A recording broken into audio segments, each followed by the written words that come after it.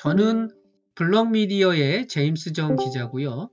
오늘 이제 사회를 제가 맡아서 이더리움 머지 업그레이드에 대한 그 음, 어, 토론회 궁금하신 것들 이렇게 좀 풀어가는 그런 걸 할 거고요. 여기 저희 디스코드 안에 보시면은 어, 이더리움 머지 어, 모든 것을 알고 싶다. 뭐 이런 그 방이 또 있으니까 여기다가 궁금하신 걸 중간중간에 토론하실 때 올려주시면 되고요. 지금 이게 전체적으로 다 이제 음성으로 진행이 되는 거니까요.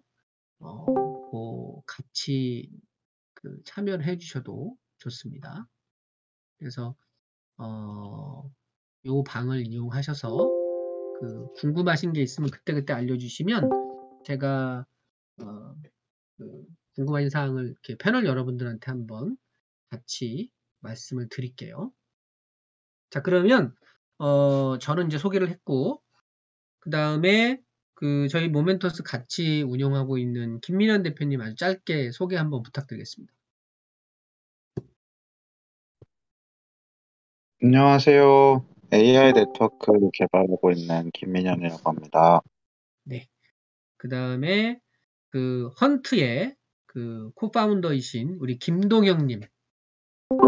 네, 안녕하세요. 헌트 co-founder 김동혁이라고 합니다. 네, 네. 저희 네.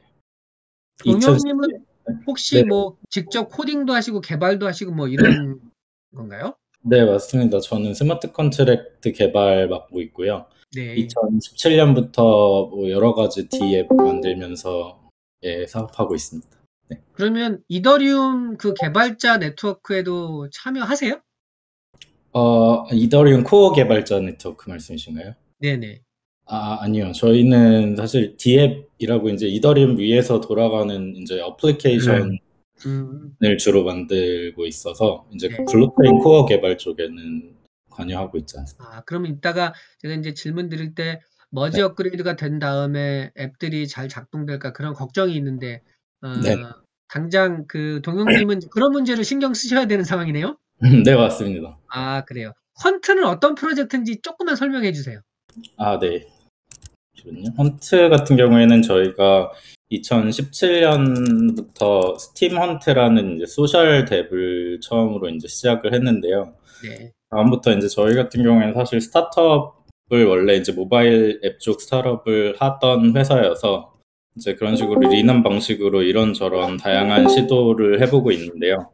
요즘에 이제 저희가 포커스하고 있는 거는 그런 어, 블록체인 어, 쪽에서 이제 Web3 관련 이제 그런 어, 캐주얼한 프로젝트나 어떤 사업을 하고 싶어 하시는 분들이 어, 좀 더 쉽게 그런 프로젝트를 시작할 수 있도록 그렇게 토큰 minting 플랫폼이나 NFT 뭐 컬렉션 발행 플랫폼 아 뭐 tool 위주로 이제 뭐 민트 클럽이랑 픽셀 클럽이라는 product를 만들고 있습니다. 네, 알겠습니다. 그 다음에 어, 헌트의 김동영님, 그 다음에 엘리시아의 서동욱 CTO 맡고 계시는데, 네, 동욱님. 네, 안녕하세요. 저는 엘리시아 CTO로 일하고 있는 서동욱이라고 하고요. 어, 작년부터 그 블록체인 학회 디사이퍼에서 이제 이더리움 2.0 관련된 연구를 했었어가지고, 어, 오늘 좀 쉽게 이해를 도와드리도록 노력을 해보도록 하겠습니다. 네, 엘리시아 설명도 좀 해주세요. 어떤 프로젝트인지. 아, 네. 엘리시아는 이제, 어, 부동산, 어, 블록체인 유동화 서비스를 만들어 보려고 지금 여러 가지 시도를 하고 있고요. 네, 어, 지금은 어, P2P 대출들을 이제 NFT로 만들어서 어, 유동화를 하려는 유동화를 하고 있는 DeFi 서비스를 만들어서 지금 운영을 하고 있습니다. 네, 그러면 그 동욱님께서도 그 이더리움 코어 개발자 그룹에는 속하지 않으셨지만, 그 이더리움 2.0 이제 디사이퍼에서 공부도 하시고 그런 상황이신 거죠? 혹시 그런 그 개발자 커뮤니티의 동향이나 이런 것도 좀 아세요?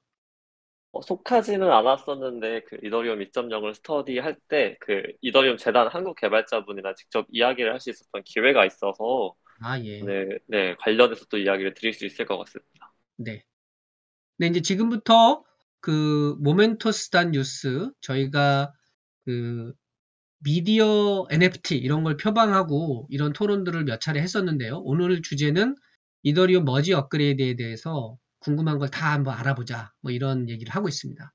근데 이제 저희가 블록미디어가 저희 텔레그램 방에다가 한번 여쭤봤어요. 지금 현재 상황에서 이더리움 머지 업그레이드를 앞두고 있는데 여러분이라면 어, 이더리움 어떻게 하시겠냐 제가 이제 설문했어요. 그래서 어, 매수하겠다. 그다음에 그냥 홀드하겠다. 그 다음에 나는 매도하겠다. 아니면 그냥 관망하겠다. 이렇게 네 가지 설문을 했, 는데그 이런 뭐 어떤 식의 답이 나왔는지 이따가 제가 말씀을 드릴 건데 오늘 그 패널로 나오신 여러분들 생각을 한번 물어보고 어, 가려고 그래요. 이제 네 분이시거든요. 그래서 어, 각자 나는 지금 이더리움을 어떻게 하겠다. 매수, 매도, 아니면 hold, 어, 뭐세 개 중에 하나 골라봐 주시죠. 그냥 관망하겠다는 아닐 것 같아. 세 분, 어, 우리들은 어쨌든 전문가니까 관망하겠다는 아니고 매수, 매도, hold. 우선 김 대표님 뭘 고르시겠어요? 네, 저희는 hold 하고 있습니다. 어, 동영님, 김동영님, 네, hold. 그다음에 네. 김민원 대표님. 어, 예, 저희, 저는 투자를 그렇게 막 하진 않아서. 네, 그냥 근데 지금도 지금 네, 내가 이더리움 투자를 해야 한다면. 때, 기술적으로 봤을 때 크게 변하는, 그, 인터페이스적으로 변하는 게 거의 없어서, 네, 투자 의견이랑은 크게 차이, 크게 영향을 주는 뭐, 그 단계는 아니라고 생각합니다. 그러면 뉴트럴. 음, 그리고 그러면 그 동욱님은 어떠세요? 전문가시니까. 저는 이제 어, 돈이 있으면 더 매수를 하면 좋지 않을까 되게 조심스럽게 생각을 하고 있었습니다. 오케이. 동욱님은 바이네요. 자, 우선은 어, 아주 아주 신속하게 제가 동욱님께 조금 어려운 부탁을 드리겠습니다. 우- 우리가 이제 POW, POS 이런 걸다 아, 아, 아니까 아, 어느 정도는 알고 있는데 어, 동욱님한테 제가 어, POW에서 POS로 바뀌는 요 얘기하고 그 다음에 비콘 체인이 뭔지 그 다음에 머지 업그레이드라고 하는 게 뭔지 그 다음에 샤딩이라는 말이 등장하는데요. 요 네 개의 용어를 아주 짧게 한번 설명을 해 주시겠어요? 이더리움과 관련해서 우리가 기본적으로 좀 알아야 되니까. 네, 호흡이 매우 길 것 같은데요.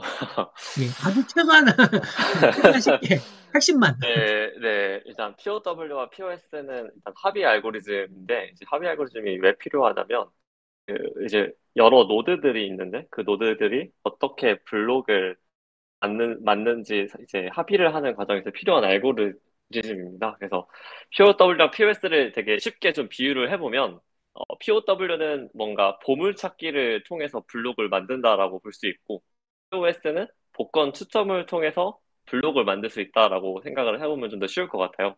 그래서 POW에서는 이제 보물을 먼저 찾은 사람이 블록을 제한할 권리가 있는 거고 POS에서는 이제 복권에 추첨되면 블록을 제한할 수 있게 됩니다.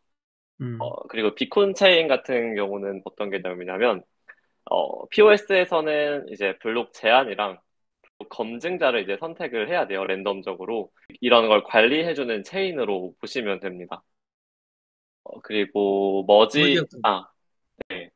머지는 뭐냐면 지금 어, 이더리움 같은 경우는 지금 합의 알고리즘을 바꾸기 위해서 어, 이더리움 기본에 있는 기존에 있던 원의 체인을 바꾸는 게 아니라 어, Beacon 체인이라는 체인을 따로 만들고 이제 두 개를 병합해서 합의 알고리즘을 변경하려고 해요. 근데 왜 이렇게 해야 되냐면 어, 이 기존에 돌고 있던 체인을 이제 아무런 중단 없이 잘 작동하게끔 이제 변경하려는 게 가장 큰 목적이고 어, 좀 이따 바로 있어 설, 설명드릴 샤딩과 관련해서 이런 샤딩을 또 관리하도록 설계를 한 체인이기 때문에 어, 뭔가 관심사를 분리하기 위해서 새로 만든 체인이 비콘 체인이고 그 비콘 체인과 지금 존재하는 이더리움 체인을 합병, 어, 합치는 과정을 Merge라고 생각하시면 될 것 같습니다.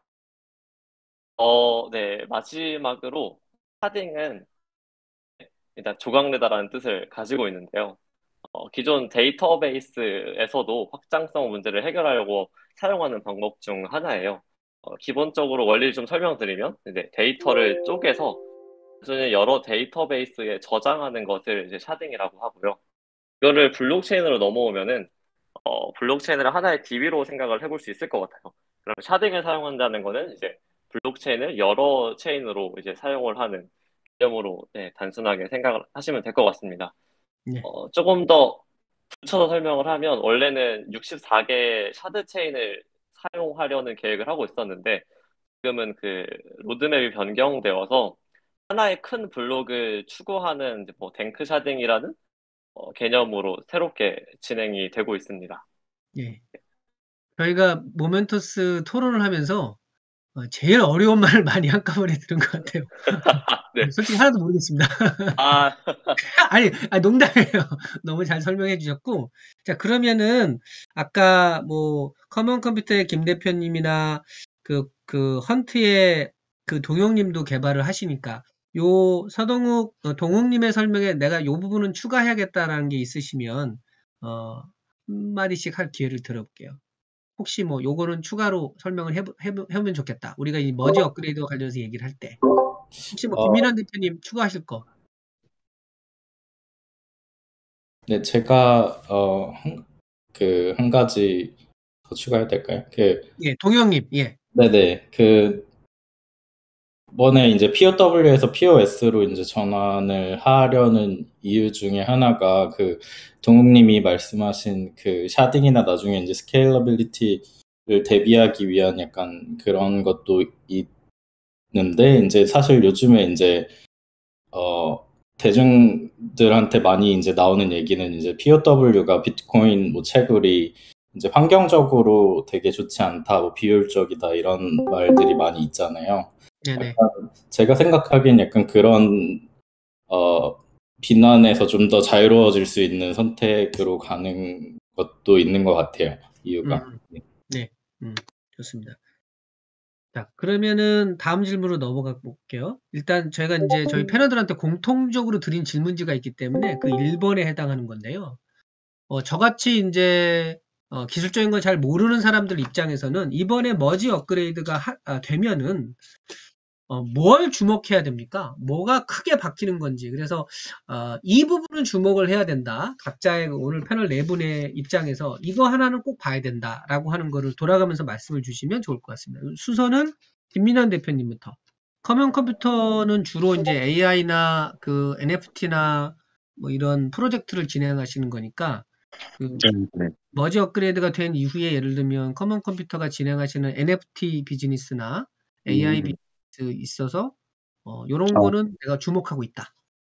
아, 네. 그 관점에서 보면은 이제 이 merge가 되면은 혹시 그 오해하시는 분이 이게 갑자기 비약적으로 빨라진다거나 혹은 갑자기 가스비가 엄청 싸진다거나 해서 이더리움이 어, 플랫폼이 확 성격이 변하는 것으로 오해하시는 분들이 있어요. 네. 그런데 지금 요거는 이- 있는 그대로의 migration을 중점적으로 하는 merge거든요. 그래서 퍼포먼스나 기존의 그 사용성 측면에서는 거의 달라지는 게 없고 내부적으로 그 컨센서스 알고리즘만 교체하는 거에 집중을 하고 있는 migration이라서 물론 장기적으로는 많은 변화가 있겠지만 지금 당장은 지켜보는 단계이다. 요조, 요 점을 좀 짚어 짚, 짚는 것이 이제 오해를 방지하는 차원에서 좋을 것 같습니다. 그 다음에는 우리 헌트의 동영님. 아까 질문은 머지 업그레이드 후에 나는 이거를 주목해서 본다. 아, 네. 뭐, 사실 머지 업그레이드 이후에 이제 사실 저희는 이제 D앱을 운영하는 회사다 보니까 앱 측면에서는 사실 크게 바뀔 건 없는데, 사실 저는, 어, 이제 머지가 될 때 사실 하드포크가 될 걸로 예상을 하고 있잖아요. 네네. 기존에 이제 채굴자들이 주도하는 이제 POW 체인이 약간 ETH W라는 체인으로 별도로 이제 분리가 될 걸로 생각이 되는데, 네. 이제 그, 그쪽에서 어떤 일이 일어날지가 저는 제일 어, 재밌는 약간 관전 포인트일 것 같거든요. 왜냐하면 이제 사실 이더리움이 뭐 예전에 이제 그렇게 hard fork가 이더리움 클래식이랑 됐을 때는 사실 그 위에서 올- 돌아가는 프로토콜이나 그런 앱들이 많지 않았던 상황인데 이번에 이제 hard fork가 게- 되게 되면은 사실 이더리움 위에 있는 모든 ERC20 토큰이나 뭐 유니스왑 같은 프로토콜이나 이제 모든 데이터 또한 이제 그쪽으로 하나가 복제가 생기는 거잖아요. 그래서 이제 뭐 거래소에서 뭐 토큰을 지원하느냐 마냐의 여부와 상관없이 이제 그런 어떤 어, 프로젝트의 주체에서 어떤 체인을 선택할 것이냐 그리고 또 그러, 그러면 선택을 안 한 다른 체인에 있는 토큰이나 프로토콜들은 어떻게 될 것이냐? 그러니까 이런 부분이 사실 아무도 뭐 어떻게 될 거라고 예측을 정확히는 못 하겠지만 지금 이번에 어 이렇게 되게 큰 스케일로는 처음 있는 일이기 때문에 근데 이제 이게 실제 사용자 입장에서는 좀 재밌는 관전 포인트일 것 같습니다. 네. 자, 그러면 동욱님, 엘리시아의 동욱 CTO님. 저 동영님이 이야기하신 걸 좀 덧붙여 말하고 싶은데, 어, 안 그래도 벌써 그 lending 프로토콜에서는 이더를 빌려서 가지고 있으려는 수요가 많다고 해요. 왜냐하면 이더를 일단 많이 가지고 있으면 hard fork 되었을 때 그 hard fork된 체인에서도 이더를 계속 가지고 있을 수 있기 때문인 것 같거든요. 어, 그래서 저도 그 만약에 hard fork가 되었을 때 상황이 이제 어떻게 어떻게 이어질지 따라서 좀 네, 흥미롭게 보고 있었습니다. 음. 그러면 자연스럽게 약간 순서가 뒤에 사실 있는데 이더리움 hard fork 얘기로 넘어가야 될 텐데요. 일단 어 여러분들은 이더리움 hard fork 하는 거에 대해서 그냥 accept 하세요? 사실 비탈릭 부테린이 hard fork에 대해 약간 비판적인 태도를 보인 적이 있기 때문에 어 hard fork를 그냥 받아들이시나요? 아니면 왜 hard fork를 하는지 난 이해를 못 하겠다 내지는 어 약간 돈벌이 때문에 하는 거다 이런 비판도 있었는데 어떻게 생각하세요? 세 분? 아, 네. 그, 뭐 결국에는 돈벌이 때문에 하는 거는 맞는 것 같기는 해요. 결국에 이제 서로 이해관계가 달랐고, 채굴자들이랑 core 팀이나 커뮤니티 쪽이랑. 그런데, 어, 그거를, 근데 비, 제가 알기로는 비탈릭이 그렇게 뭐 부정적으로만 보고 있는 것 같진 않거든요. 어쨌든 hard fork라는 거는, 어, 오히려 이제 사실 비트코인은 hard fork를 이제 hard fork보다는 업그레이드를 할 때 거의 soft fork를 하는 식인데 그거는 어떻게 보면은 약간 우리가 이렇게 업그레이드를 할 테니까 어 다수가 아닌 약간 소수의 의견은 어떻게 보면 무시되고 약간 이쪽으로 무조건 가는 약간 이런 방식의 업그레이드라고 하면은 하드포크는 의견이 다른 사람들이 어쨌든 다른 체인을 만들어서 나가는 거기 때문에 약간 그런 어 오히려 더 제 생각에는 더 어, 평화로운 방식의 약간 업그레이드가 아닐까라는 생각도 들고요. 근데 이제 기존에 있는 커뮤니티가 쪼개진다는 측면에서 봤을 때 분명히 부정적인 요소가 있는 것도 맞는 것 같습니다. 네, 다른 분들 의견도요.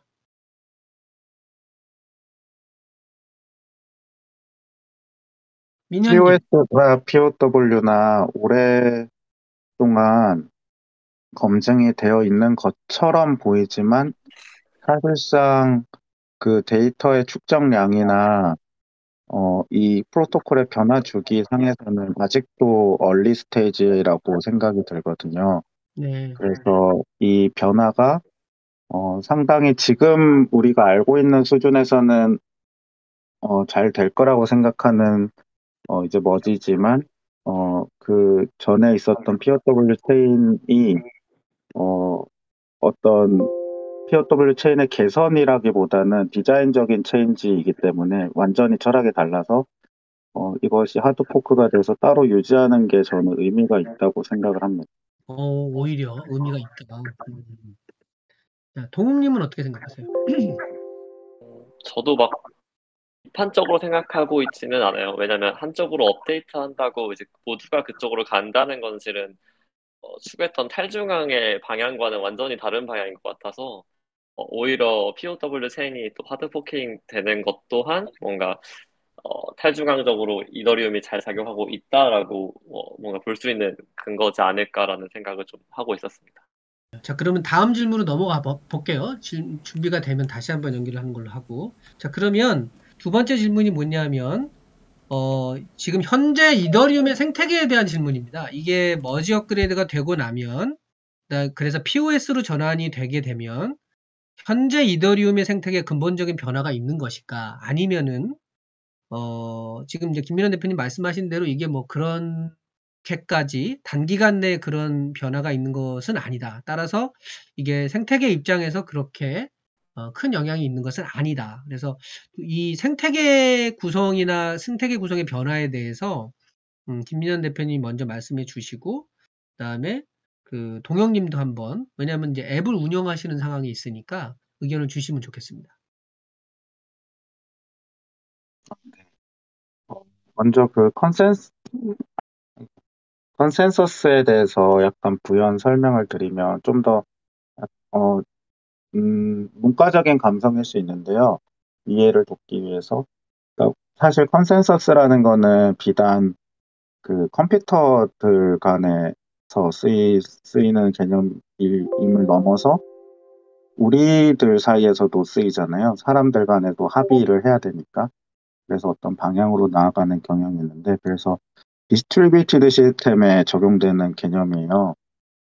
그렇다 보니까 이것이 어떤 이론적인 기술만의 측면에서 바라볼 건 아니고 사회학적인 현상도 같이 고려를 할 수밖에 없거든요. 특히 이렇게 완전히 어, 어떻게 보면 센트럴 엔터티가 없는 상태에서 인터넷 상황에서의 컨센서스는 이 난이도가 굉장히 높다고 볼 수가 있습니다. 그래서 생태계적으로 POS와 POW가 어, 계속해서 어떻게 보면 공존해 왔는데 사실상 POS 체인 중에서 메이저 체인이라고 불리는 충분한 탈중앙화를 이뤘다고 보이는 체인은 없었어요 이때까지. 네네. 그런데 이제 이더리움이 POW에서 POS로 넘어간다는 거는 그 어떻게 보면 첫 실험, 이 그러니까 규모의 면에서 규모의 면에서 어, 비트코인과 견줄 만한 혹은 넘었죠. 그, 그 정도 규모의 체인이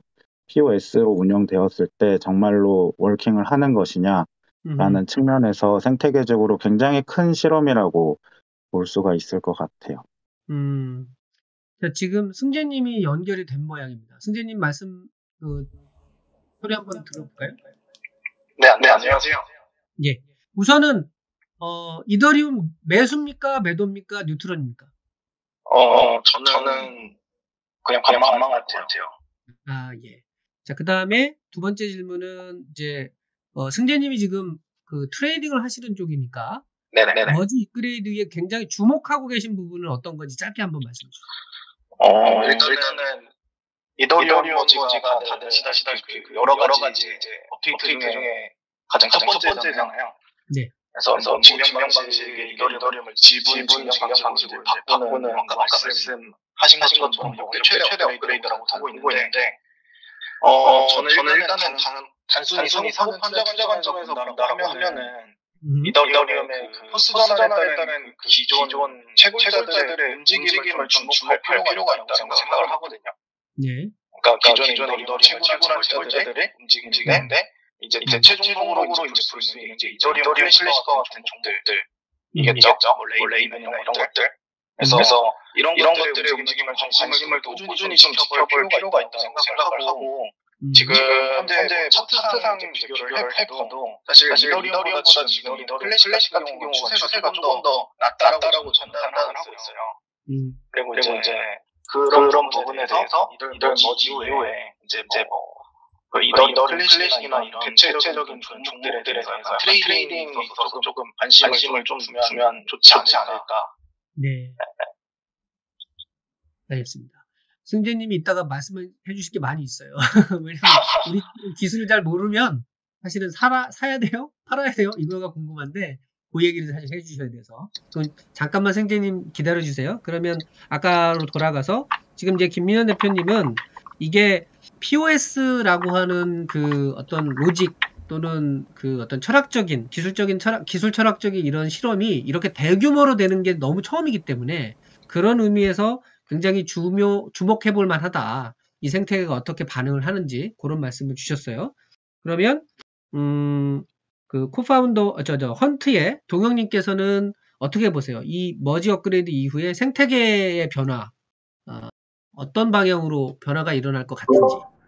어, 제 생각에 일단 어, 그러니까 POS 체인 같은 경우에는 그러니까 이더리 현재 이더리움이 업그레이드된 체인 같은 경우에는 사실 생태계적인 변화는 크게 없을 것 같아요. 왜냐하면은 제가 아는 모든 어, 프로토콜들이 어쨌든 POS 체인을 어, 공식적으로 지원을 할 거고 이게 이제 뭐 근데 사실은 여기에 있는 생태계 안에 있는 어떤 뭐 유니스왑이나 뭐 컴파운드나 이런 프로토콜이 이제 뭐 커브나 이런 것들이 서로 얽혀 있는데 거기에서 만약에 어떤 프로토콜 하나가 만약에 자기는 POS 체인이 아니라 POW로 가겠다라고 음. 했을 때는 더 이상 이제 거기에는 참여자나 뭔가 운영 주체나 이런 게 정말 없이 그냥 프로토콜만 덩글이 남아져 있는 상황이 되는 건데 과연 그런 상태에서 그 프로토콜들이 정상적으로 계속 동작을 할 건지 그리고 이제 그게 만약에 문제가 생기게 되면은 다른 데 이제 연계돼 있는 그런 다른 어, 뎁들이 사실 서로 이제 체인처럼 연결이 돼 있다 보니까 그런 부분에서 이슈가 생기지 않을지 약간 그런 건 있는데 사실 POS 체인은 아마 뭐 POW 체인을 지원하는 dApp이 있다고 하더라도 아마 기본적으로 지원을 할 거기 때문에 그쪽 에는 이슈가 없을 것 같은데 이제 사실 오히려 만약에 fork돼서 나오는 POW 체인 같은 경우에는 대부분의 프로토콜이나 dApp들이 아마 지원을 안 할 텐데 거기도 분명히 데이터는 그대로 있잖아요.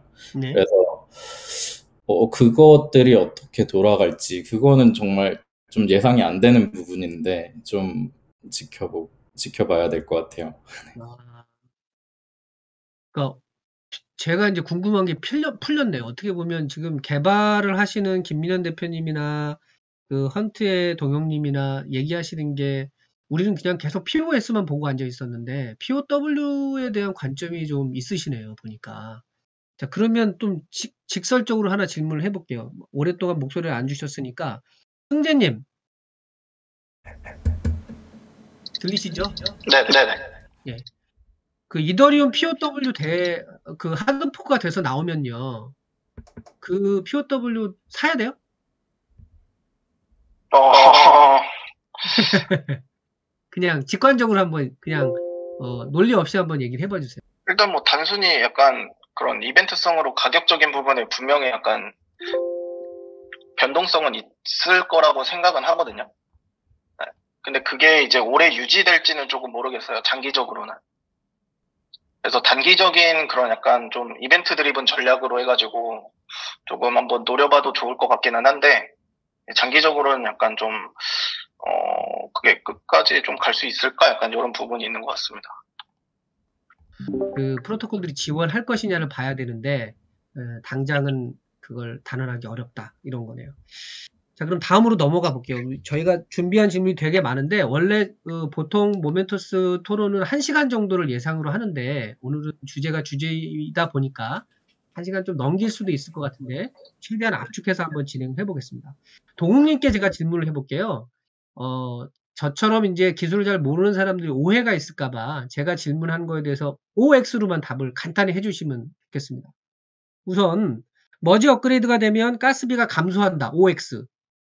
어, X로 답할 수 있을 것 같습니다. 네. 그 다음에 어, 머지 업그레이드가 되고 나면은 transaction 속도가 엄청 빨라진다. 어, 아니라고 볼 수 있습니다. 아닙니다. 그 다음에 staking을 하고 있잖아요. 그 이더리움 staking을 하게 되는데 그 staking 이율이나 이런 게 올라간다. 어, 그거는 저는 난센 리포트를 좀 찾아봤었는데 머지가 된 이후로는 오히려 이율이 조금 낮아진다라고는 보고는 있더라고요. 음, 추후에 어, 뭐 빌더라는 역할이 들어오게 되면 이제 그때서야 이자율이 조금 늘지 않을까로 생각을 하고 있습니다. 아, 오히려 기로는 스테이킹 이율이 4%인데 오히려 줄어든다, 낮아진다. 어, 아, 그게 이제 staking 서비스를 사용하는 분들에게는 별 차이가 없을 것 같은데, 그, 아, 개인만의 validator를 돌리시는 분들은 이제 조금 줄어들 거라고 전망을 하고 있더라고요. 아, 예, 예. 그러면 어, 또 하나 이제 자연스럽게 다음 질문으로 갈 텐데 동욱님이 먼저 이걸 풀어주시면 좋을 것 같아요. 이더리움 머지 업그레이드가 되면 여러 사람들이 우려, 우려 하는 바 중에 하나가 아까 말씀드린 그 builder라든가 validator, 뭐 staking 이런 개념 때문에 이더리움이 오히려 중앙화되는 것이 아니냐라고 하는 우려가 있습니다. 그리고 builder의 개념과 validator의 개념도 저 같은 아마추어들은 잘 모르겠어요. 그래서 builder와 validator의 개념을 한번 설명을 해주시고 이런 것들로 미루어 봤을 때 이더리움이 중앙화의 길로 간다라고 하는 우려에 대해서는 기술적으로 어떻게 예, 답을 하실까요? 네, 제가 되게 어려운 질문을 많이 받고 있는 것 같은데, 어, 어, 일단 빌더는 그 트랜잭션들이 많이 모여 있을 때 어떤 것들을 먼저 처리해야 되는지, 어느 블록에 트랜잭션을 어떻게 담아야 그 어, 이익을 가장 많이 볼 수 있는지를 결정해주는 이제 역할을 한다고 생각하면 될 것 같고요. 어, 밸리데이터는 이제 그런 빌더가 제공한 이제 블록 정보를 바탕으로 블록을 생성하거나 아니면 누군가 생성한 블록을 검증하는 이 두 가지 역할을 하는 것으로 볼 수 있어요. 그리고 staking은 이제 validator가 되기 위한 어, 조건이죠. 네, 32개 이더를 네, 특정 contract 전송을 하면 이제 vali, validator가 될 수 있죠. 어, 음. 그리고 이제 최근에 이제 중앙화되어 있다는 이슈가 한두 가지가 있는 것 같아요. 이제 한 가지는 어, staking 서비스가 뭐 Lido Finance 이런 데 집중화되어 있다가 있을 것 같고 음. 어, 두 번째는 이제 builder가 될 수 있는 게 뭐 매우 강력한 하드웨어를 가져야 되고 뭐 매우 어, 중앙화된 주체라는 데 지적이 있었습니다. 음. 네, staking 그 Lido Finance 같은 경우에는 어, 일반적인 DeFi 프로토콜이 해결하는 것처럼 어, DAO를 만들었고 이제 그 음. DAO를 통해서 그 프로토콜의 이제 리스크 팩터라던가 이런 특정 변수들을 수정할 수 있는 권한을 이렇게 분산화 시킴으로써 어, 지금까지는 그 중앙화 이슈를 조금 해결하려고 하는 것 같고요. 어, 그리고 이제 빌더 중앙화 이슈 같은 경우는 어, 아직은 되게 논의가 활발한 단계여서 어, 정확히는 뭐 답을 되게 되게 어려울 것 같아요. 아직도 그 빌더라는 모델은 도입하려면 3, 4년 정도는 있어야 될 것으로 보이거든요. 그래서 지금 여기서 이야기는 너무 먼 미래 이야기인 것 같고, 어, 다만 제가 생각한 건 뭐냐면 빌더의 도입 자체가 지금 이더리움이 1.0에서 2.0으로 갔을 때 발생하는 그 중앙화 문제를 해결하는 해결 방법으로 또 나오는 솔루션이 솔루션이에요. 빌더라는 그 역할이 그래서 어, 아마 논의를 통해서 어느 정도 중앙화 문제를 해결할 수 있지 않을까로 네, 기대하고 있습니다. 그러면 이번에 머지 업그레이드가 되더라도 빌더가 바로 도입되는 게 아니에요? 네, 빌더가 바로 도입되지는 않고 오히려 아. 그 머지 때문에 발생할 수 있는 중앙화 문제가 남아 있어서 이제 그거를 해결하려고 이제 빌더라는 이제 개념을 지금 이제 막 논의를 시작하고 있었어요. 아, 그러면 어, 빌더가 일종의 솔루션인데 그거에 대한 우려가 미리 좀 있는 거군요. 네. 혹시 이 주제와 관련해서 김민현 대표님이나 동영님이 코멘트 하실 게 있을까요? 이더리움이 중앙화되고 있다라는 우려에 대해서?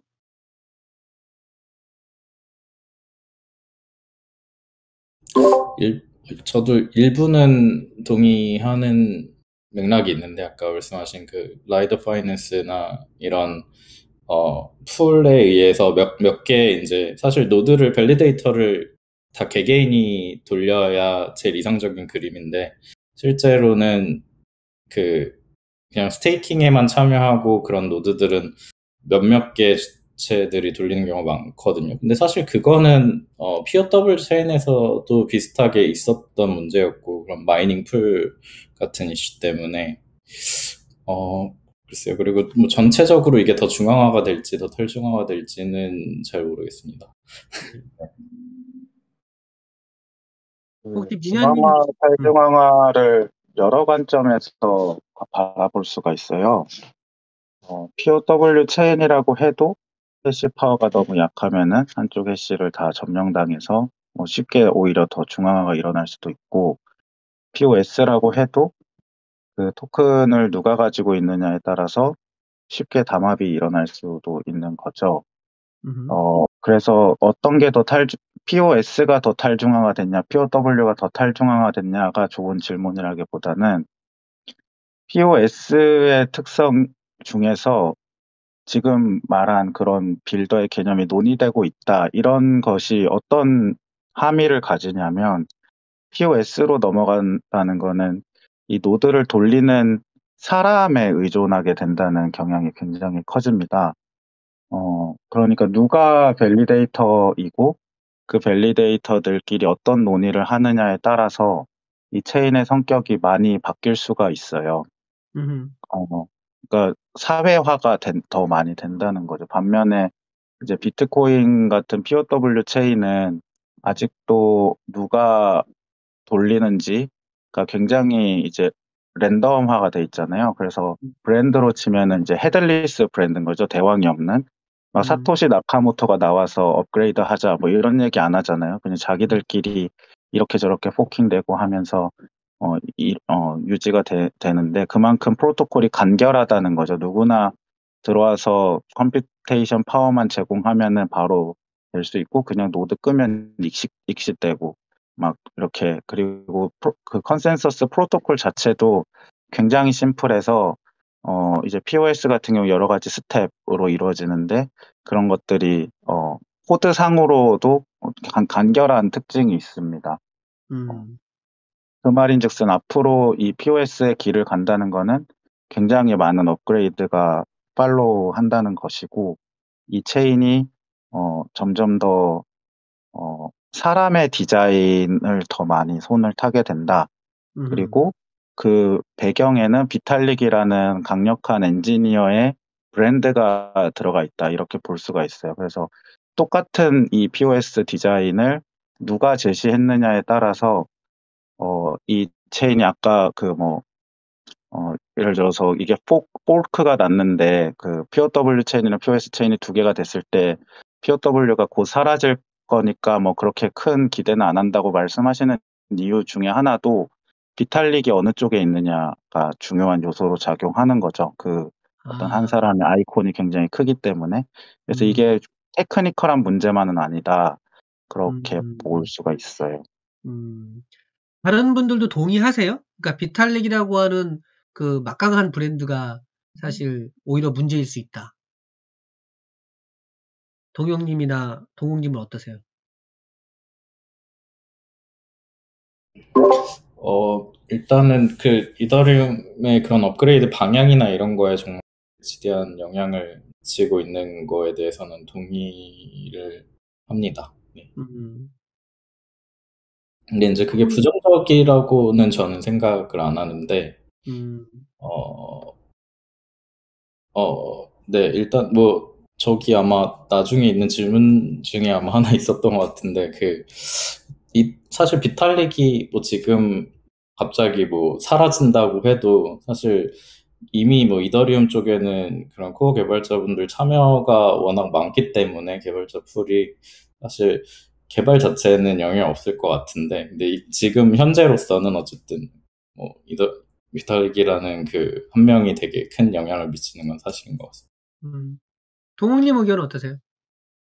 어, 저도 이제 당연히 비탈릭으로 뭔가 중앙화된 것처럼 보이긴 하는데, 이건 좀 탈중앙을 조금 더 고민을 해보면 좋을 것 같아요. 왜냐면 탈중앙이 나왔던 이유는 중앙화된 시스템들이 항상 발생하는 문제 중 하나가 단일 실패 지점으로 이제 지적이 되잖아요. 한 곳에만 실패하더라도 이제 여러 피해를 입게 되는 그런 경우가 있는데, 어, 지금 이더리움 같은 경우는 네, 아까 말씀하셨던 것처럼 비탈릭이 갑자기 사라진다고 해서 피해를 보는 사람들이 많이 발생하느냐 이런 단일 실패점은 아직 뭔가 그런 것과는 관련이 없는 것 같아서 음. 어, 단순히 프로젝트가 한 사람에 의해서 어, 방향이 바뀐다는 거랑 어, 그 중앙화 되어 있냐 이런 거는 좀 다르게 보는 게 좋다라고 생각을 하고 있습니다. 음.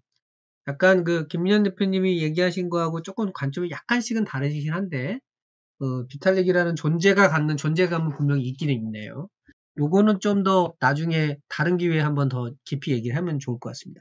다음 질문으로 넘어가 보겠습니다. 제가 너- 네 분한테 각각 그, 어, 질문을 드리려고 하는데, 그러니까 네, 어, 공통 질문인데 간단히 설명을 주시면 되는데, 어, 이더리움 네트워크, 그러니까 이더리움 블록체인, 이더리움 생태계, 뭐 코인, 얘하고 그 경쟁할 수 있는 다른 네트워크, 다른 블록체인, 다른 코인에 대한 질문입니다. 그래서 돌아가시면서 나는 이더리움, 그러니까 POS 이후를 말하는 겁니다.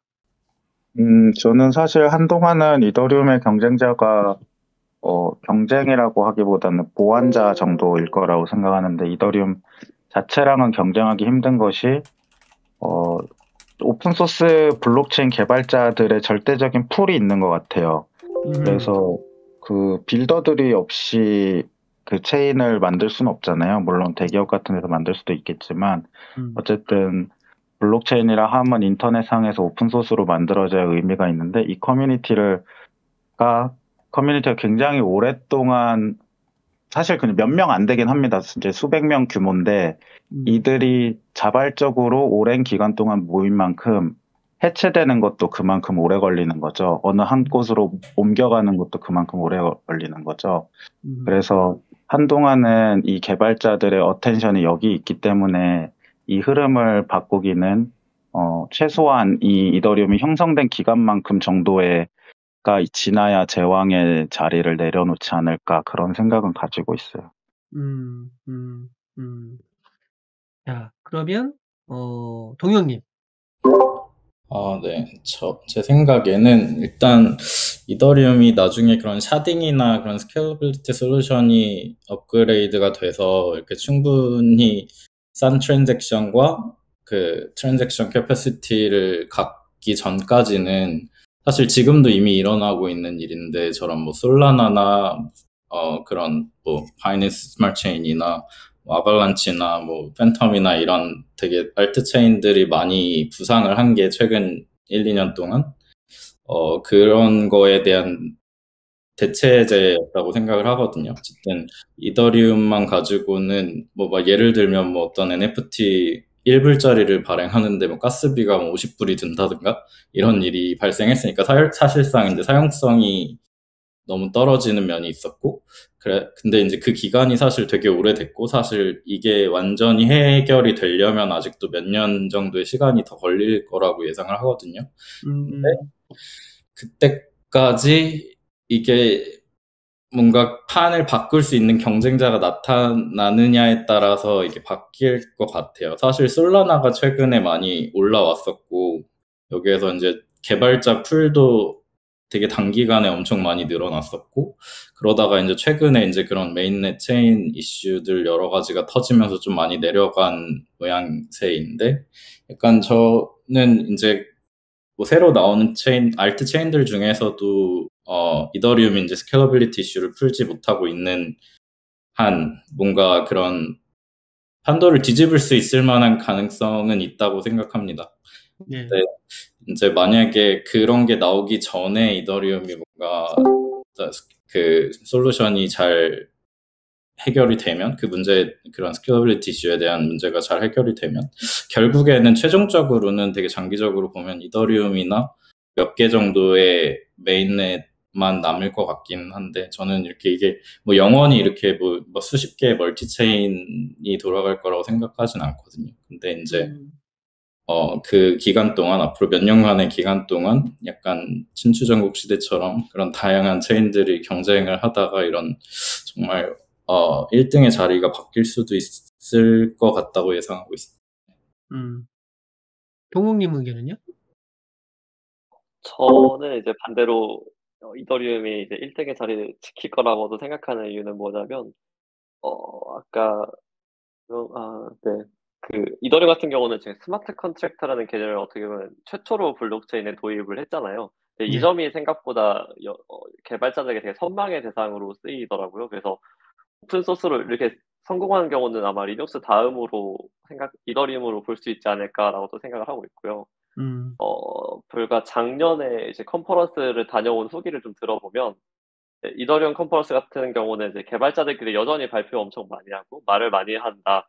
그 되게 배울 게 많았다라는 후기가 많았고, 어, 가스비가 저렴하기로 유명했던 블록체인 같은 경우는 컨퍼런스에서 개발자들이 발표를 하는 것보다 뭔가 영업적인 인사들이 발표를 많이 해서 어, 컨퍼런스가 그렇게 가치가 없었다라는 후기가 생각보다 있었어요. 그래서 여전히 그, 네, 그 블록체인을 뭐라고 말씀을 드릴 수는 없을 것 같고, 네, 그래서 네, 이, 이더리움이 가지고 있는 그 개발자 커뮤니티가 너무 강력하기 때문에 어, 뭐 큰 사고 물론 네, 절대 영원한 건 없긴 하지만 어, 아직까지는 네, 되게 1등을 유지할 수 있지 않을까로 그냥 네, 확신하고 있습니다. 아, 근데 이 부분은 제가 약간 반론을 제기할 수밖에 없는데, 아까 뭐 그런 얘기 나왔지만, 아니, 1달러짜리 NFT를 발행하는데 가스비가 50달러면, 이건 상업성이 없는 거잖아요. 근데 이제 개발자분들은 아마 지금, 어, 저, 동욱님처럼 막 이렇게 열광을 하는 것 같은데, 사실, 어, 저처럼 기술을 잘 모르고, 이게 금융화하고, 금융상품화하고, 아니면 뭐 이렇게 상업화하고 이런 거에 더 관심이 있는 예, 일반 유저들 입장에서는 아니 뭐 가스비도 좀 낮으면서 smart contract를 구현할 수 있는 다른 코인이 은근히 나와주길 사실 바란단 말이죠. 그래서 뭐 솔라나가 작년에 여름에 난리를 치고 뭐 BNB도 사실 제가 알기로는 BNB 코인도 그게 이제 이더리움을 hard fork한 건데 그냥 어, 가스비가 낮아서 그 노드를 많이 사용하지 않으니까 저렴한 가스비니까 그쪽으로 다 도망가기도 하고 뭐 이전하기도 하고 그랬잖아요. 예, 그게 창펑자오의 저는 상술이라고 보는데 뭐 기술적인 개발 완성도나 이런 거를 떠나서 그런 걸 너무 이더리움 쪽에서 무시하고 있는 게 아닌가 어, 그런 생각도 좀 듭니다. 자, 그러면 그 승재님한테 사실 준비된 질문이 하나 있었어요. 그 얘기를 이제 듣도록 할게요. 머지 업그레이드가 된 다음에 이제 시스템이나 시장에 급변이 발생할 수 있는데 그 시장 내에서의 어떤 이슈들이 뭐가 있을 수 있을까요? 이제 저도 이제 관련 기사를 한번 쓴 적이 있는데 너무 레버리지 비율이 올라가 있다라든가 뭐 가격이 급등하는 거에 대비한 또는 급락하는 거에 대비한 것 때문에 시장이 막 흔들릴 수 있지 않을까. 우리 일반 투자자들 입장에서 머지 이후에 어떤 부분들을 주의해서 봐야 되는지 그 시장 관점에서. 어, 일단은 뭐 여러 가지가 있기는 하겠지만 아무래도 이 가격적인 부분을 조금 생각을 해볼 수 있는 것 같은데 어, 이 머지 업데이트 이후에 그 staking 뭐 인출로 인한 가격 하락 우려를 좀 생각하시는 분들이 좀 있는 것 같아요. 뭐 커뮤니티 보니까 약간 그래서 뭐 근데 아시는 분은 아시겠지만 그 인출에 대한 그 이슈 자체는 사실 그 상하이 업그레이드 이후에나 가능한 것으로 좀 알고 있기도 하고 어, 한 번에 음. 많은 물량을 인출하지 못하도록 뭐 설계했다라고 저는 알고 있거든요. 그래서 음, 뭐그 해당 업그레이드 자체도 아직 정확한 뭐 그런 이제 진행 시기를 정해져 있지는 않고 그게 이제 뭐 내년 초 이 정도로 알고 있어서 이게 시- 스테이킹으로 스테이킹 인출로 인한 그냥 단기적인 급락 이런 가격 변동성은 조금 가능성은 굉장히 낮을 것 같고요. 대신에 네. 이제 좀 단기적으로 봤을 때 단기적으로 봤을 때 뭐 이더리움 머지 이슈로 인해서 막 이제 단기 투자자들 단타성 이제 트레이더들이나 단기 투자자들 또는 뭐 이더리움 후 에어드랍을 노리고 이제 들어가는 그런 이제 분들의 어, 이후에 이제 단기 매도 물량 정도는 있을 수 있다. 그래서 이런 부분에 있어서 머지 업데이트 이후에 이제 이런 단기 매도 셋 정도는 생각할 수 있지만 장기적으로는 뭐 그런 급락을 하거나 이런 부분은 없을 것 같아요. 음, 오히려 그 레버리지가 많이 쌓여 있고 그런데 승진님 생각은 그렇게 급락을 막 하거나 그럴 것 같지는 않다. 이런 네네. 쪽이군요. 예, 알겠습니다. 자, 그럼 이제 다음 질문으로 또 넘어가 볼게요. 그 앞에 이제 얘기를 사실 들어보면은 그 설명이 된 것 같긴 한데 머지가 된 이후에 다른 어떤 그러니까 이번에 머지 업그레이드가 됐다고 해서 POS로의 이행이 완결되는 것이 아니므로 아까 말씀드린 뭐 상하이 뭐 업그레이드도 해야 되고 빌더를 도입해야 되는 문제도 있고 이런 여러 가지 그 과정들이 있는데 그러면 어, 이더리움 머지 업그레이드 이후에 과연 각 프로젝트들의 개발 방향에는 어떤 변화가 있는 것이냐, 아, 그런 얘기를 여쭙고 싶어요. 그래서 동영님 입장에서 지금 헌트 같은 경우에는 머지 업그레이드 이후에 우리 프로젝트를 개발적인 측면에서 이렇게 바꿔야 되지 않나? 이런 생각을 혹시 하시는 게 있으면 말씀 좀 해주시겠어요? 어, 사실 저 머지 업그레이드가 사실 그런 블록체인 그 내부적인 어떤 그런 동작 방식이 변하는 거지 사실 그 위에서 돌아가는 앱이 동작하는 뭐 인터페이스나 방식이나 뭐 이런 거에는 전혀 변화가 없거든요. 음, 그래서 뭐 따로 저희가 개발 방향성을 바꾼다든지 할 이슈는 없을 것 같습니다. 아, 그러면 하나 추가로 여쭤볼게요. 아까 네. 그 살짝 얘기가 나왔지만 이제 중앙화에 대한 우려가 있어가지고 또 미국 쪽에서는 예를 들면 이제 staking을 하잖아요, 우리가.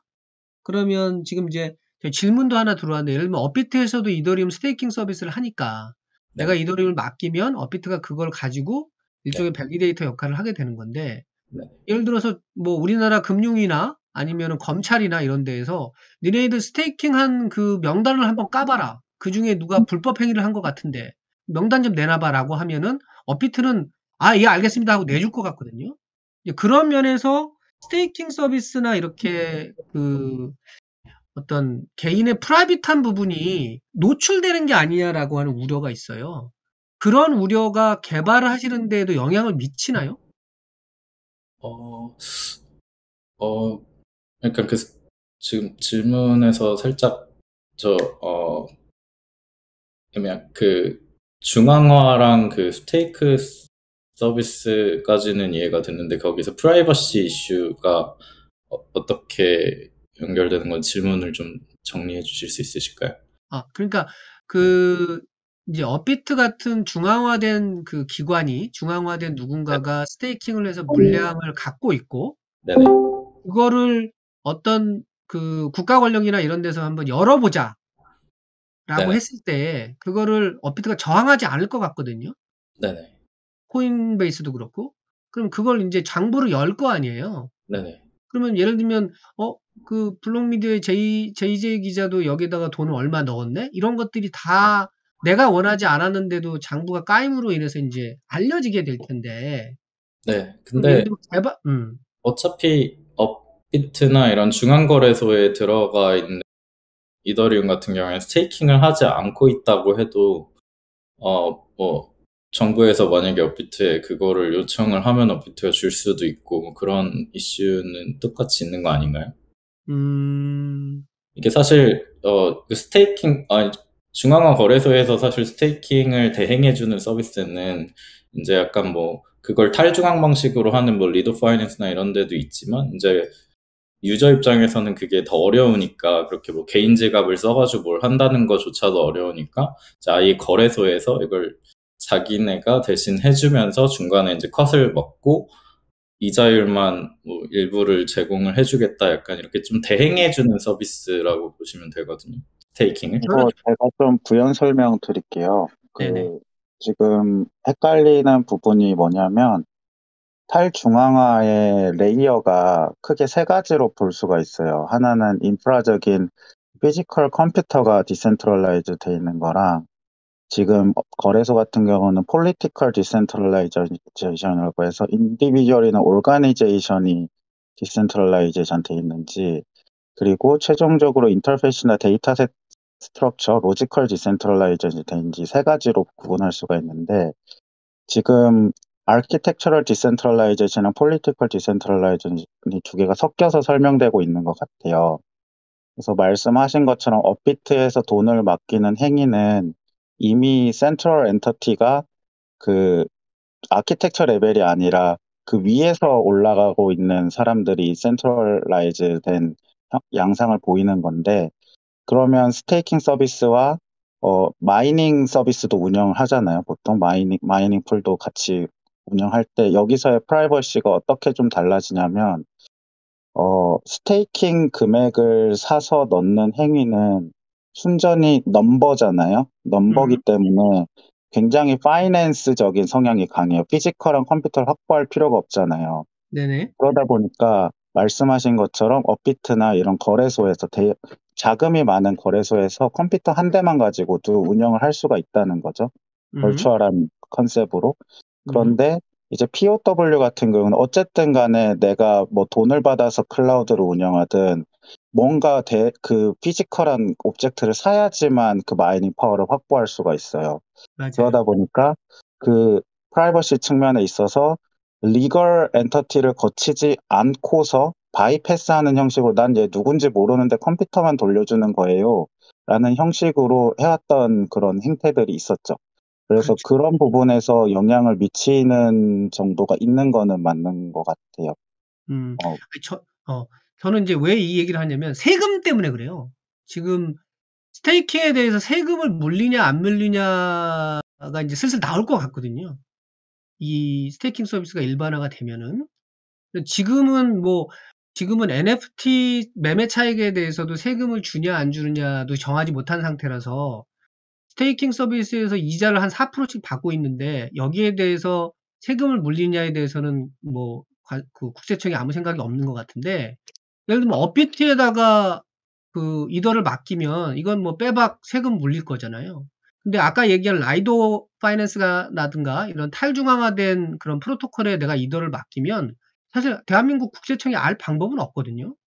그러니까 이런 면에서 staking 서비스가 금융 상품화 하는 데 있어서 어 되게 중요한 관점인 것 같거든요. 기술적으로도 그렇고 어 프라이버시 문제도 그렇고 그래서 그런 것들이 이후에 그 금융 상품을 디자인하는 우리가 디파이 같은 걸 만들 때 그런 고민을 했던 것처럼 음, 이, 이, 이후에 POS가 이제 금융 상품화 할 때 그런 프라이버시 문제가 좀 중요할 것 같아서 일단 말씀을 드렸는데 어, 김 대표님 지금 설명 주신 것처럼 이제 세 가지 관점이 있고 그러면 이제 저는 다 자연스럽게 이제 이런 질문을 할 수밖에 없는데 어, 동욱님이 이걸 얘기해 주실 수 있는지 모르겠는데 어, 저희가 이제 스테이킹 서비스를 해보려고 해요. 그래서 이제 안정적으로 이더리움 이자를 받고 싶어요. 그러면 어떤, 어떤 걸 이용하는 게 좋아요? 지금 이게 중앙화된 업비트에 그냥 덜컥 맡기는 게 좋은 건지, 아니면 좀 어렵고 귀찮긴 하지만 라이도 같은 걸 찾아 들어가서 해야 되는 건지,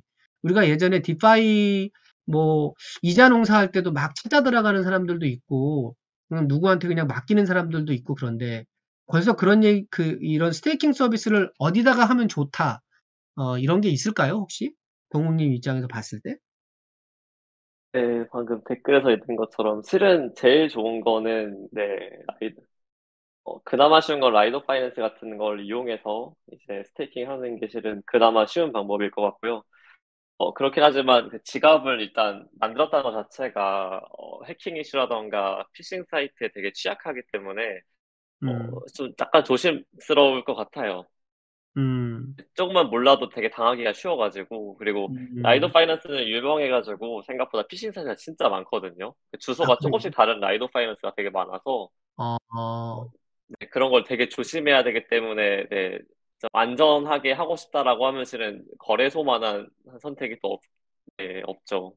아, 네, 그래서 뭔가 너무 위험이 많이 도사리고 있기 때문에 거래소가 실은 음, 가장 추천하는 방법 중 하나고 두 번째가 이제 라이도 파이낸스를 좀 이용을 하는 거고 조금 지갑이랑 뭐 이런 쪽에 익숙하신다면 음, 그리고 세 번째는 네 아무래도 대행 서비스이기 때문에 다 수수료가 있잖아요. 그래서 음, 어, 좀 더 수익률을 높게 하고 싶다라고 하면 실은 validator를 돌려보는 게 실은 가장 좋죠.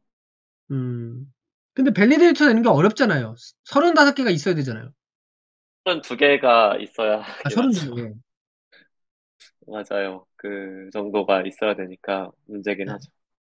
그러면 뭐 제가 이더가 하나 있어요. 그러면 어 32명 32개만 모아 오시면 validator 될 수 있게 저희가 뭐 조그맣게 무슨 슬롯 슬롯 같은 걸 만들어 드릴게요. 뭐 이런 거는 상품화하기 어렵나요? 어, 제 생각에는 개발, 아, 좀 더 익숙하게만 하면 그렇게 모아서 하는 경우도 있거든요. 가능하긴 해요. 근데 음. 아, 배워야 될 게 너무 많아서 제가 추천을 못 드리겠습니다. 아. 그러니까 그거를 뭐 예를 들면은 엘리시아나 아니면 헌트 같은 데서 서비스 하시면 장사 될 것 같은데? 예. 아니 저는 이제 그런 꿈을 사실 꾸고 있거든요. 이게 이 그 legacy 금융 시장의 채권 상품처럼 어 이더가 꼭 32개가 아니더라도 맡기면 안전하게 그 validator를 해 주는 그런 게 있으면 좋겠다. 뭐 그런 생각도 해 봤는데 쪼끔 요원하군요, 지금은. 저 근데 또 수익이 생각보다 차이가 많거든요. 직접 하는 음. 경우는 거의 6에서 15%까지 받을 수 있고 음. 서비스를 이용하면 4%에서 6% 사이이긴 해서 음. 네, 어 차이가 많이 나네요. 네, 차이가 또 많이 납니다. 생각보다. 예.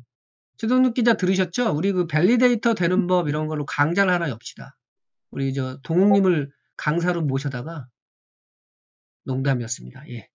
자, 지금 시간이 오후 9시 36분이어 가지고 슬슬 이제 마무리를 좀 해 보려고 합니다. 그래서 어 기술적인 얘기 많이 들었고요. 그다음에 그 스테이킹의 문제, 그다음에 김민현 대표님 말씀 주신 이 탈중앙화 중앙화 논란과 관련된 어떤 층위들도 얘기를 들었는데 자, 그러면 이제 어 저희처럼 일반인들은 기술을 잘 모르는 사람 입장에서는 머지 업그레이드 이후에 과연 이 암호화폐 시장 전체가 어떻게 바뀔 것이냐. 가상시장 시장 아 가상자산 시장의 트렌드에 대한 얘기를 하면서 좀 마무리를 하면 좋을 것 같습니다. 그래서 일단 승재 님께서 자, 머지 업그레이드가 인제 되고 난 다음에 과연 암호화폐 시장 전체가 어떤 트렌드를 보일 것인가 먼저 말씀 좀 해주시고 다른 분들 의견 듣겠습니다.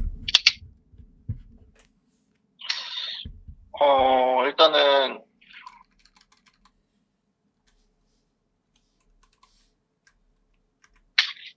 우리가- 머지 이후에 이제 좀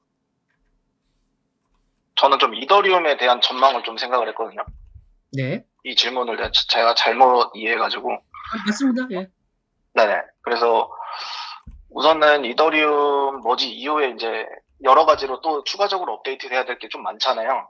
네, 네, 그렇다고 해서 사실 지금 현재 가상자산 시장 자체가 좀 이 연준 약간 이런 영향을 좀 많이 받아가지고 음, 사실 뭐 독단적으로 뭐 특정 알트코인이 엄청나게 상승을 한다 뭐 이런 시총이 가벼운 알트들은 그런 게 가능할지 몰라도 사실 이더리움 같은 종목들은 그런 독단적인 사이클을 굴리기가 어렵다라고 저는 판단을 하거든요.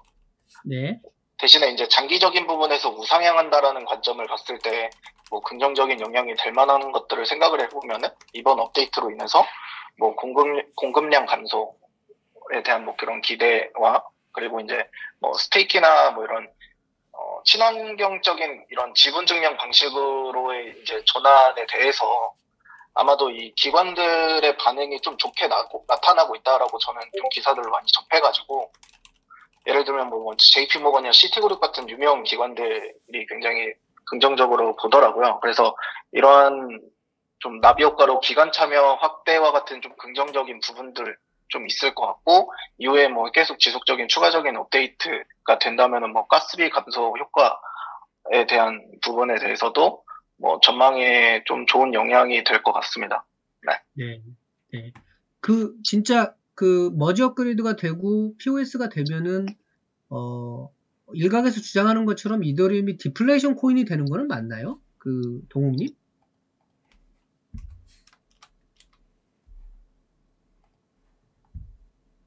디플레이션과 관련해서 어 일단 채굴량 자체는 많이 줄어들거든요. 10분의 1로 줄어들기 때문에 음, 어, 기존 이더리움 1에 비해서는 채굴량 자체가 주 많이 줄어들어서 어, 디플레이션에 가깝지 않을까? 네. 음. 어, 예측하기가 쉽지 않네요. 아, 그래요? 예측하기가 쉽지 않아요? 아니, 다들 그렇게 알고 있, 는데 꼭 그런 게 아니에요? 사실은 어, 토큰 자체가 늘어나긴 하지만 막 엄청 많이 늘어나지 않는다고 해서 무조건 디플레이션이 온다라고 확정적으로 말할 수는 없을 것 같아요. 아니, 가스비로 나가는 게 줄어들고 그건 소각한다 뭐 이런 얘기도 있는데 그게 아닌가요?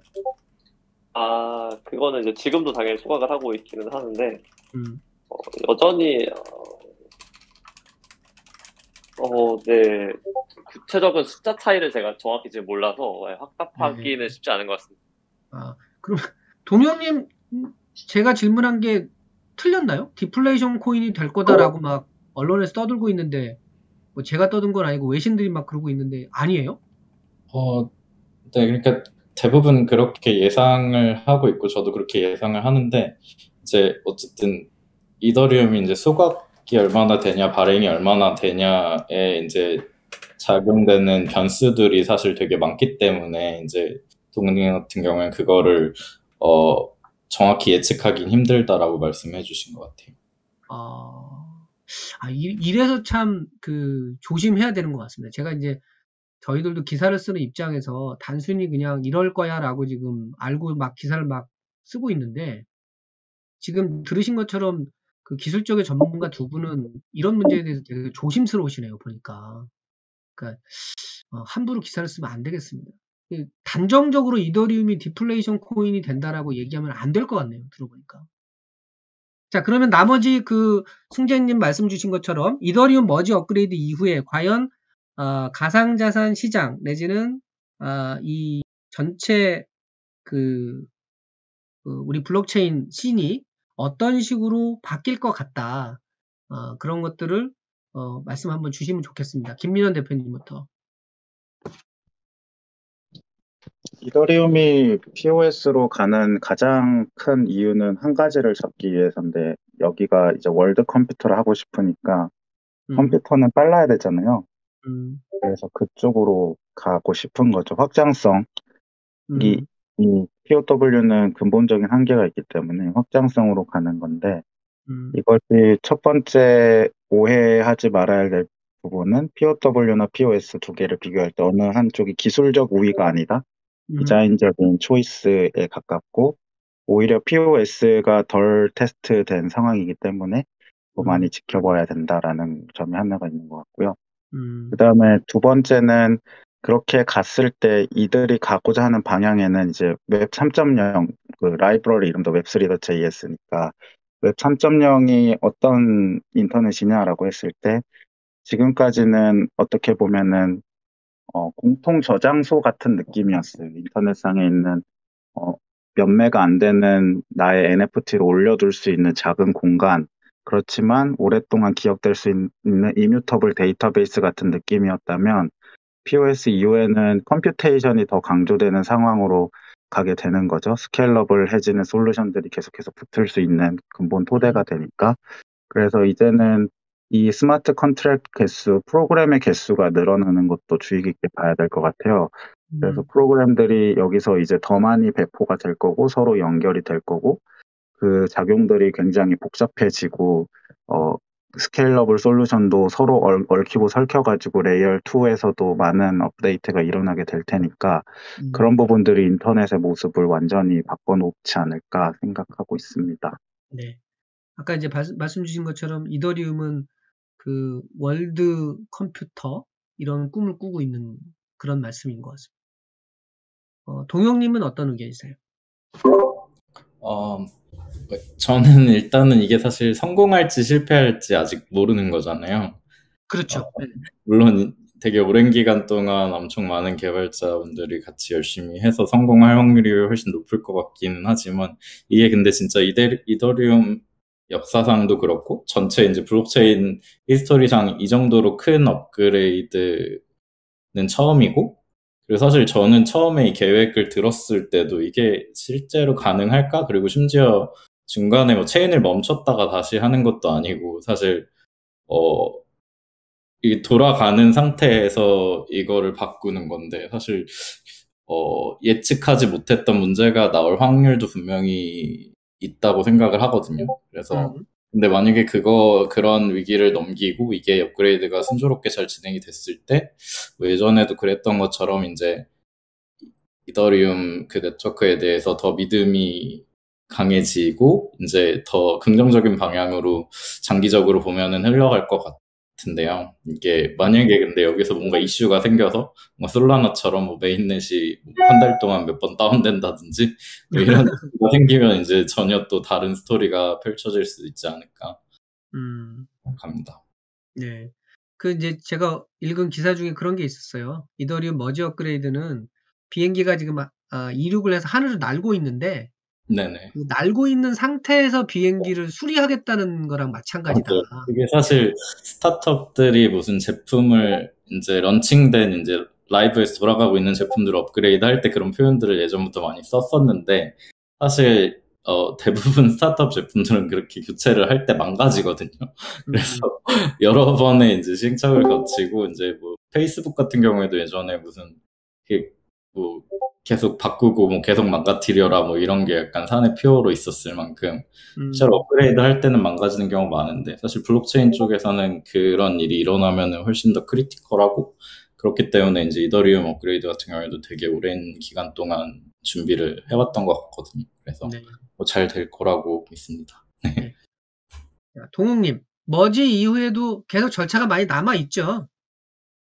어, 네, 여전히 많이 남아 있고, 여전히 머지를 했다고 해서, 어, 이더리움에 해결하려고 했던 확장성 문제를 완전히 해결한 것은 아니어가지고요. 여- 여전히 한 음. 네 가지 정도의 단계가 있습니다. 네, 네 가지 뭔가요?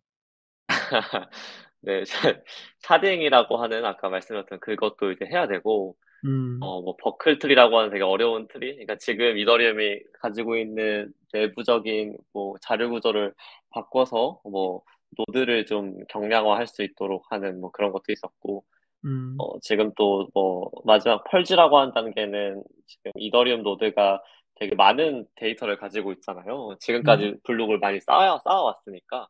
그래서 그 기간 전부가 아니라 뭐 1년, 2년치만 들고 있으면 어떨까? 뭐 이런 식으로 아이디어가 논의돼서 음, 어, 데이터를 많이 줄이는 식으로 네, 그런 식으로 진행을 하고 있습니다. 음, 그렇지만 네, 언제 될진 잘 모르겠어요. 이 음. 머지도 너무 오래 걸렸기 때문에 에. 동욱 님은 머지 업그레이드 성공 확률을 얼마나 보세요? 어, 어, 그 높다고 생각을 해요. 왜냐면 테스트를 정말 많이 했고 음, 고심하고 있어서 네, 그래도 뭐 완전한 업데이트는 없죠. 아까 동영이 말씀하신 것처럼 분명히 업데이트할 때는 네, 혹시 모르는 일이 항상 있기 때문에 네. 알겠습니다. 자, 그러면 질문 올라온 거 몇 개 받고 오늘 마무리를 해보려고 합니다. 9시 48분이기 때문에요. 어, 마지막으로 이제 승재님께 하나 드리고 싶은 질문은 자, 투자자입니다. 이더리움 투자자, 이더리움 투자를 하는 데 있어서 지금 활용할 수 있는 어떤 투자 방법이나 포지션 이런 게 있다면 한번 말씀을 주시겠어요? 어, 저는 일단은 우선 차트 기술적 분석을 기반으로 이제 투자를 주로 하는데요.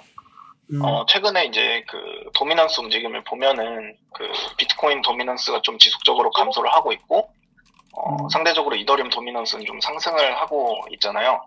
네네. 그래서 이 암호화폐 시장이 전, 전반적으로 이제 하락을 할 때 이더리움이 좀 가격 방어가 좀 잘 되고 있는 편인데 이게 음, 그렇다고 해서 사실 이 비트코인이 하락할 때 이더리움이 또 상승을 하지는 않아요.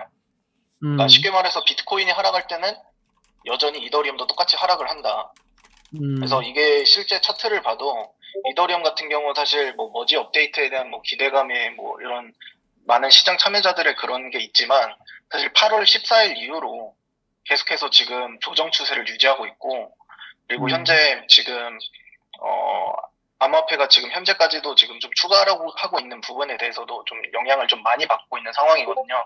그래서 음. 아무래도 어 이더리움이 사실 그 머지 업데이트에 대한 그런 그 가격 호재는 어 단기적으로 조금 영향이 좀 있을 것 같고 아무래도 음. 이 9월에 있는 그 거시경제 관련 일정들에 대한 그런 영향을 크게 받지 않을까 그렇게 생각을 하고 있습니다. 그래서 그냥 지금은 이 하락 추세에서 전체적으로 모든 종목들이 벗어나지 못하고 있기 때문에 그냥 비트코인을 기준으로 차트를 보고 그다음에 이 비트코인 반등 시점에서 어, 대신에 이 비트코인 대신에 이제 이더리움을 활용해서 이더리움을 매수하는 방향. 아무래도 이 회복력이 비트코인보다는 이더, 이더리움이 아직까지는 조금 나은 편이니까 비트코인을 매수하기보다는 이더리움 같은 약간 이런 추세가 조금 회복력이 빠르고 상대적으로 가격 방어가 잘 되는 종목들을 좀 이렇게 대응을 하는 것이 좋을 것 같습니다. 네. 지금 이제 질문 중에 하나가 계속해서 나오는 질문 중에 하나가 이더리움이 비트를 넘을 수 있을까요? 이런 질문이거든요. 누가 답을 해주시겠어요? 가격적인 측면도 있고 어떤 이 블록체인 씬에서 갖는 위치의 문제도 있고 그런 것 같아요. 아까 이제 이더리움의 경쟁 얘기는 했었는데 이 이더가 비트를 넘을 수 있을 것인가? 뭐 누구나 아, 아무나 한번 답을 해주시면.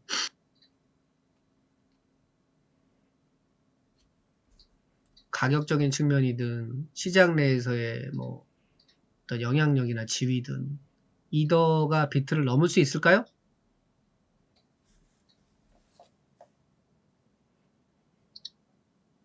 네트워크의 가치 측면 뭐 이런 것도 괜찮습니다. 음, 네, 대표님. 네, 그 네트워크의 가치 측면에서 total value locked 측면에서 어, 어떻게 보면은 이렇게 표현할 수 있을 것 같아요. 한쪽은 어, 오더 오더가 이제 n이라 그러면 여기는 이제 combination n 제곱 n 3승 이렇게 갈 수 있는 그 구조라는 거죠. 왜냐하면 비트코인의 연산자는 플러스 마이너스 정도거든요. 스크립트 수준이라면 이쪽은 그냥 프로그램을 계속 배포할 수 있, 는 상태고 그게 점점 쉬워지는 거니까 그 사용처가 굉장히 다양하다.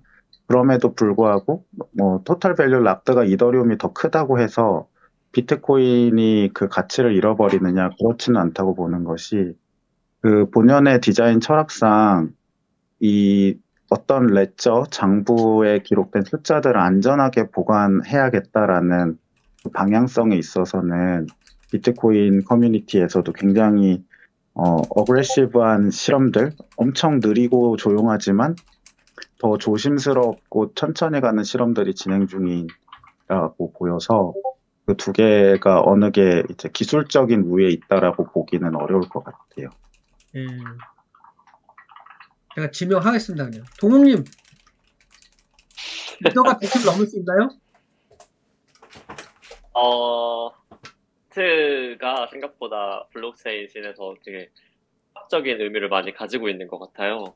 네. 사실은 블록체인의 시장을 열었잖아요. 그래서 어, 다른 분 댓글 남겨주신 것처럼 여전히 금과 같은 느낌으로 계속 쓸 것 같고 음. 어, 그리고 생각보다 비트코인에서도 느리지만 진짜 많은 연구들이 이뤄지고 있거든요. 특히 라이트닝 네트워크와 관련해서는 음. 지난번에 있었던 비트코인 컨퍼런스에서는 거의 주제가 라이트닝 네트워크에 사람들이 이제 어떻게 받아들이나 이쪽으로 되게 많이 쓰였어요. 그래서 비트코인도 충분히 이더리움과 같이 많은 연구를 하고 있다. 그러면서 둘은 비교할 수가 쉽지 않지만 되게 비등비등하게 계속 가지 않을까 해요. 네. 자, 동영님 의견은 어떠세요? 네, 저도 아까 전에 민현님이 말씀하신 것처럼 이더리움 같은 경우에는 그 안에서 다양한 프로토콜들이 있고 TVL이 증가하게 되면은 그거에 약간 뭐 제곱이나 세제곱식으로 이제 더 가치가 훨씬 더 부풀려질 수 있기 때문에 시총으로 봤을 때 비트코인을 넘는 이벤트가 충분히 일어날 수도 있다고 생각을 하고요. 음. 근데 이제 어떻게 될지는 그 모르죠 아무도. 네. 네. 그러니까 그 동영 님은 그 네. flippening, flippening 뭐 이런 거를 생각하시는 거네요.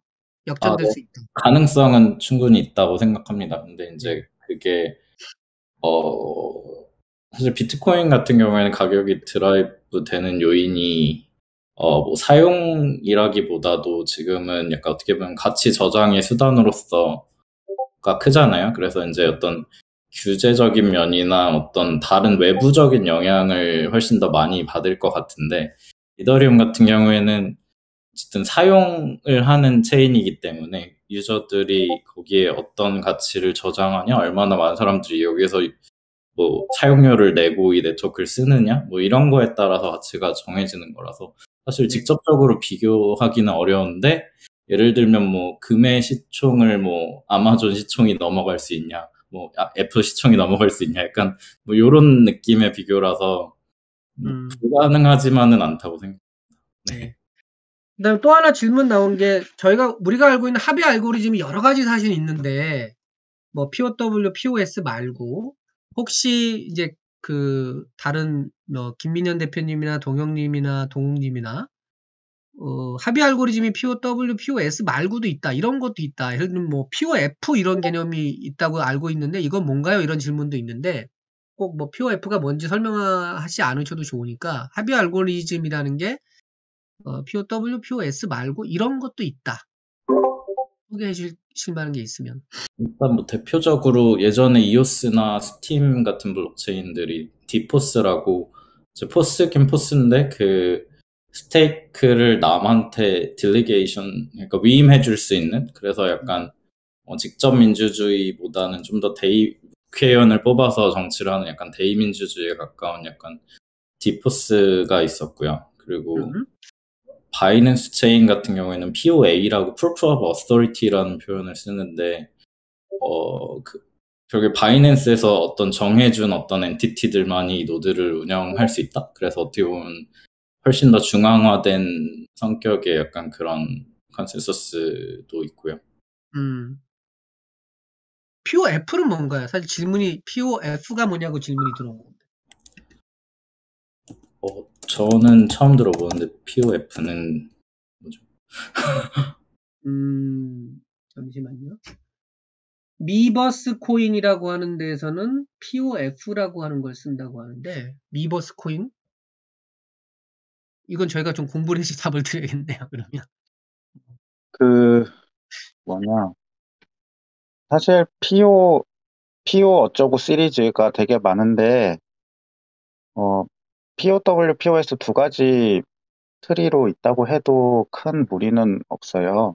네. 그리고 이것의 이제 이론적인 토대는 뭐냐면 FLP impossibility라고 어, 모든 asynchronous한 시스템은 이제 원래 원칙상은 합의에 도달할 수 없는데 그러니까 consensus가 원래 불가능한 거죠. distributed 시스템은 어, 합의가 불가능한데 이제 어쌔션을 할 수는 있다 했을 때 첫 번째가 그 synchrony assumption이고 두 번째가 이제 non-determinism인데 음. 어, 첫 번째는 asynchronous한 환경이지만 synchronous하다는 부분을 어느 정도를 가정을 해서 만드는 거고 그게 거기서 이제 나오는 게 우리가 흔히 말하는 이제 Byzantine fault tolerance라고 해서 나가는 거고 그다음에 그 아래 그 두 번째 게 이제 non-determinism이라고 해서 사토시 consensus라고 해가지고 어 맞는지는 모르겠지만 확률적으로는 엄청나게 많은 연산이 들어가기 때문에 아마 맞을 걸이라고 해서 진행은 할 수 있잖아. 그러니까 probability를 음. 도입하는 거죠. 어떤 사실이 팩트인지 아닌지 저- 결정하는 게 아니라 아주 팩트일 확률이 높아지는 방향으로 합의를 하자라는 그 두 가지 방향성이 크게 있다고 보시면 돼요. 그래서 이 머지라는 이벤트는 이 철학적인 아예 근본적인 가정의 가정이 바뀌었다라고 보, 보기 때문에 굉장히 큰 이벤트라고 보는 겁니다. 예. 김 대표님이 지금 설명하신 거 우리 저 듣고 계신 분 다 이해 못했을 것 같아요. 뭐 싱크로, 싱크로. 근데 여하튼 제가 이해하는 거는 이겁니다. 원래 분산된 어떤 그 상황에서는 합의라는 게 불가능하다. 근데 그거를 합의를 어떻게 어떻게 하느냐의 논리고 그 사토시 경우에는 확률이 높은 원래 합의라는 건 불가능한데 확률적으로 그냥 어 그 합의가 됐다는 쪽으로 가자라는 거고 어 반대편에서는 이제 POS처럼 그냥 그 어, 합의를 하는 거죠. 저도 이 해설을 못 해드리겠네. 그래서 어떤 그 가정에 합의를 할 수 있다는 이게 합의라는 거를 깔고 가냐 아니면 합의란 원래 없는데 그 확률적으로 합의가 됐다고 보냐 이- 이건 음. 것 같아요. 네. 그래서 이제 finality가 생기잖아요. POS에서는 왜냐하면 음. 특정 금액을 초과해서 합의를 아예 할 수가 없기 때문에 음. 그게 이제 가능한 거죠. 그렇지만 그게 가능하다고 해서 안전한 건 아니거든요. 왜냐면 그거는 closed set에서 안에서의 finality가 생긴 거지. 우리가 전체 world 측면에서 봤을 때 이 value가 얼마나 가치가 있느냐는 우리 머릿속에만 있는 거잖아요. virtual한 컨셉이잖아요. 모든 음. 토큰이나 어떤 숫자들은. 음. 그렇기 때문에 두 개가 이제 어떻게 보면 굉장히 첨예한 대립을 이루지만 실질적으로 기능상으로는 비슷한 효과를 내는 그런 것이라고 보면 될 것 같아요. 예. 요 얘기는 사실은 제가 이제 김현 대표님하고 논의하고 있는 무슨 모임이 하나 있는데 그 모임에서 주제를 달아도 될 만한 조금 굉장히 딥한 얘기여가지고 저도 좀 공부를 한 다음에 기사를 쓰거나 한번 알려드릴게요. 자, 이제 마지막입니다. 진짜 마지막으로 저 오늘 오신 뭐 전문가 네 분한테 내가 5년 후에 이 머지 업그레이드 상황을 내가 역사책을 쓰는 사람이에요. 그래서 한 줄로 그때 머지 업그레이드라는 게 있었는데 이러이러이 땡땡땡땡땡이야 이렇게 한 줄로 한번 정리를 해주시면 좋을 것 같습니다. 역순으로 해볼게요. 서동욱 우리 동욱님부터 5년 후에 내가 역사 어, 저술가가 돼가지고 어, 머지 업그레이드는 땡땡땡땡땡땡이야. 네, 머지 업데이트는 네. 음, 최초의 POS 립이었다고 요약할 수 있을 것 같습니다. 그러니까 저 소리가 좀 안 들려가지고 태- 아, 네, 진, 네, 진정한 최초의 POS 도입이었다라고 요약을 해볼 수 있을 음. 것 같아요. 진정한 최초의 POS였다. 네. 그 다음에 동영님은 어, 제가 이렇게 요약을 하는 걸 잘 못하는데, 어, 뭐, 저는 사실 이걸 뭐 그렇게, 어, 나중에 엄청 시간이 5년이면 사실 그 시간이잖아요. 그래서 뭐, 그때 가서 봤을 때는 별게 아니었던 것처럼 보일 것 같아요, 오히려. 그냥 그런 일이 있었다. 왜냐하면, 뭐 사실 기술 이렇게 발전하는 이런 극초기 단계에서는 사실 이런 되게 극단적인 변화나 새로운 것들이 많이 생겨나고 이제 와. 그런 것들이 앞으로도 엄청 많이 생겨날 거기 때문에 네.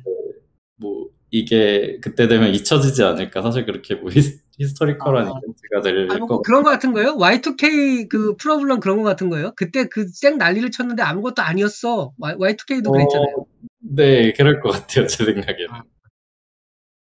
야, 이거 굉장히 새로운 시각인데요. 5년쯤 지났을 때 지금을 돌아보면 아, 그때 그렇게 쌩 난리를 쳤었어. 근데 별거 아니었어, 사실은. 재밌네요. 재밌는 시각인데요. 예. 앞으로 훨씬 더 그런 일들이 많을 거라고 예상합니다. 예. 자, 김민현 대표님은 한 줄로 요약하면 저는 비탈릭 형님의 말을 들어서 55%의 progress라고 요약을 하겠습니다. 아, 네. Web3까지 55% 진행됐다. 음, 갈 길이 많다 아직도. 아니 엄청 많이 왔다는 아, 그런 거예요? 훌륭하다 대단하다는 뜻이었습니다. 아니, 55% 나다니. 아니 45%나 한 나오는데? 생애에서 Web3를 리드하는데 55%나 리드를 했으면은 정말 다 아. 잘한 것 같습니다.